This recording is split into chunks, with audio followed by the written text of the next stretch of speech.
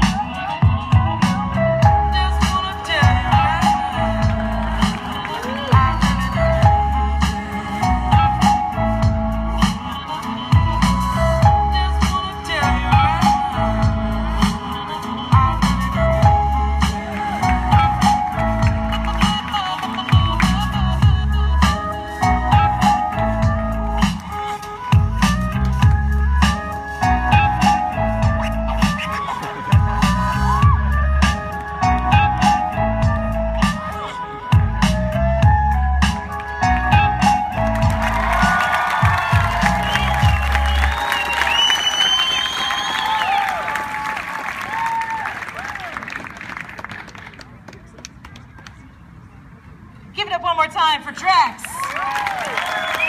DrexFactor.com.